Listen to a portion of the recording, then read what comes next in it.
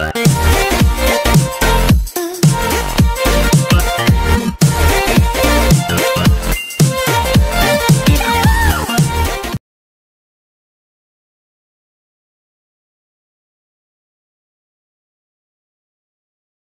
guys, I hope you are all doing well.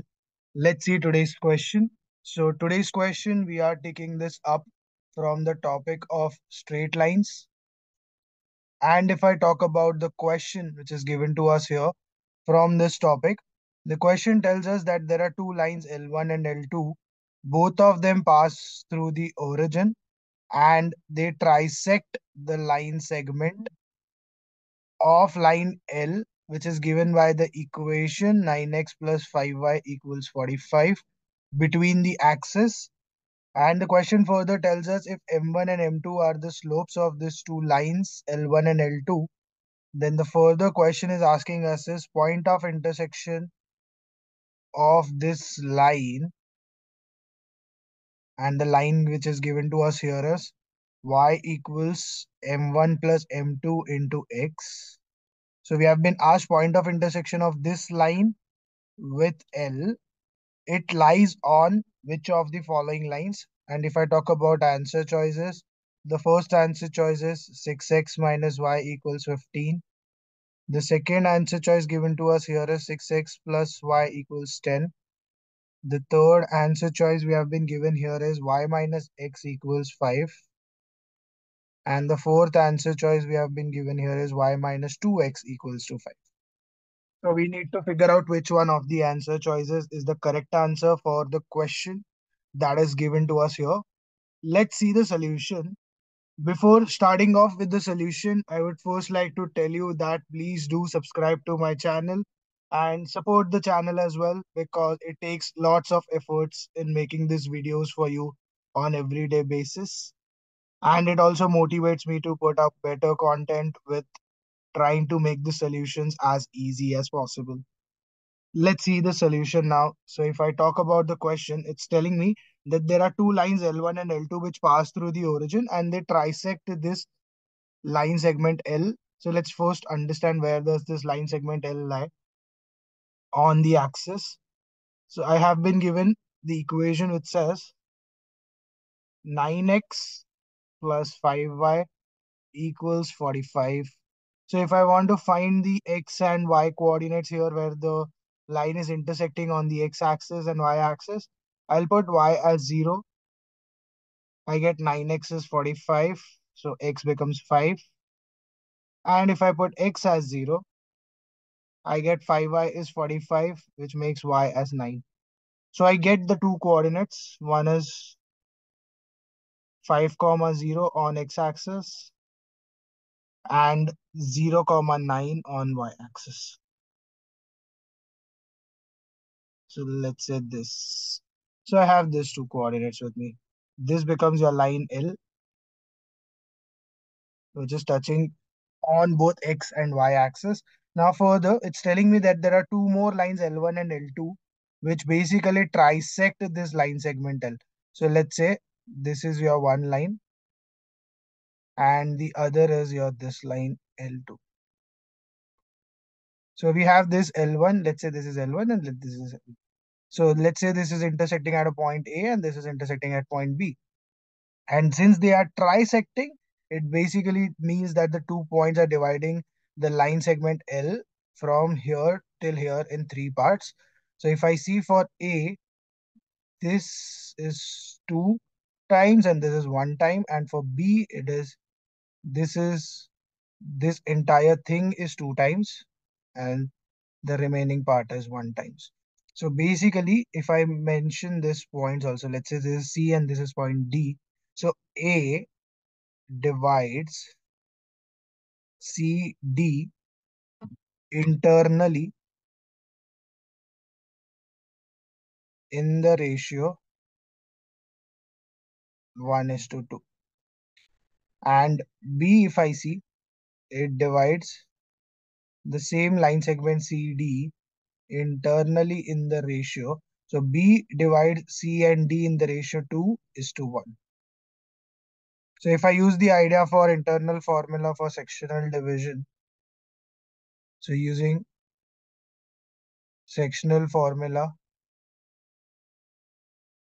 for internal division, we know x coordinate I can just find out by mx2 plus nx1 divided by m plus n and y coordinate I can just find it out by my2 plus ny1 divided by m plus n where the first idea if I apply here it says that your a coordinate divides CD internally in the ratio 1 is to 2. So if I see for C and D, C is x1, y1, D is x2, y2. And C coordinates, we know it's 5, 0. And for D, it is 0, 9. So we have this. Let's use the idea of internal division and solve this. So for A, the M is to N ratio is 2 is to 1. Uh, sorry, 1 is to 2, not 2 is to 1. So if I use that for finding the coordinates of A first, x coordinate is given as 1 and m is m is 1 and n is 2 and for y also m is 1 and n is 2 x2 x1 if i see x2 is 0 x1 is 5 and here y2 is 9 and y1 is 0 so you get x coordinate that is 10 divided by 3 here you get y coordinate that is 9 divided by 3 which is 3. So you get your coordinates of A already 10 over 3 comma 3. Now if I find the coordinates of B the ratio is 2 is to 1 so 2 1 2 plus 1 and again 2 for y also m is 2 and n is 1.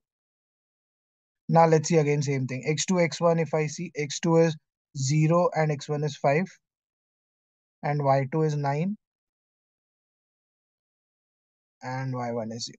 So I get from here again 5 over 3 and this becomes 18 over 3 which is 6.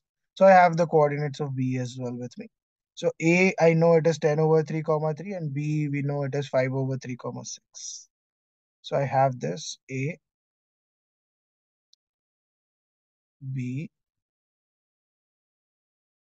Now once I have both the coordinates A and B, I know both of these lines L1 and L2 also pass through the origin 0, comma 0. Now if I find the slopes of lines L1 and L2, I know for L1 the coordinates are origin 0, comma 0 and A. So if I find the slope of this line using y2 minus y1 divided by x2 minus x1, I know the coordinates are 10 over 3, comma 3 and 0, 0. So 3 minus 0 10 over 3 minus 0 that gives you 3 divided by 10 over 3 so that is 9 over 10 and if I see for line L2 the slope is again same y2 minus y1 divided by x2 minus x1 where x2 y2 we have 5 by 3 and 6 so 6 minus 0 5 over 3 minus 0 so 6 over 5 over 3 so that gives you 18 over 5 I have both the slopes with me. Now let's just find the equation of the new line that is given to us in the form y equals m1 plus m2 into x. That gives me 9 over 10 plus 18 over 5x. If I make the denominator same, I'll multiply this with 2. That gives you 9 plus 36, 45 divided by 10x. So I have this equation of line y is 45 over 10x and we have been told that the point of intersection needs to be found out of this line with your given line L. So if I use this and this, I need to solve them two simultaneously. So I have the equation between 9x plus 5y equals 45. And I know already y is 45 over 10. So 9x plus 45 over 10x and this 5 also is multiplied which is equals to 45. So if I solve for this, 5 ones, 5 twos, I get from here 9x plus 45x. So if I want to make the denominator 2 here also, I get 18 plus 45 x divided by 2 equals 45. So from here I get x is 45 into 2 divided by 45 plus 18 which is 63.